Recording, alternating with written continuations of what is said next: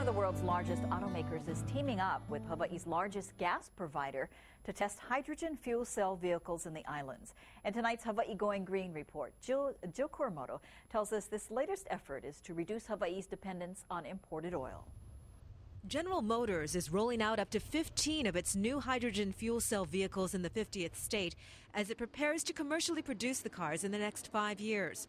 Today, the gas company announced it will be tapping into its existing system to build local fueling stations across Oahu. The goal to have stations within 10 minutes of each other. Because we already have the hydrogen, we're distributing it in our, our gas pipes. We can install the equipment in a very short period of time. GM has invested $1.5 billion in fuel cell vehicles where hydrogen is converted into electricity. During that process, we power electrons, power an electric motor, you hit the accelerator, that electric motor takes you forward, and out the tailpipe actually is water vapor. And what does it feel like to drive one of these cars? Well, it feels like driving a regular car.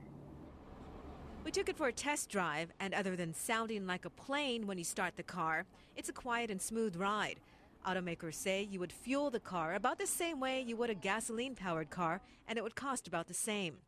Today's announcement comes after South Korean automaker CT&T said it would build an electric car assembly plant in Hawaii, and Nissan said it would market electric cars here. Hawaii, I think, will be the Silicon Valley of high tech transportation. The cars will cost around $30,000. Would Hawaii drivers buy them? Yes, I would, especially if you make a truck. I think I would, but I think right now the biggest thing is the cost. Environmentalists would argue it's a small price to pay to reduce our dependence on foreign oil. Jill Kuramoto, KITV4 News. GM says their hydrogen fuel cell cars can get up to 200 miles per fill up.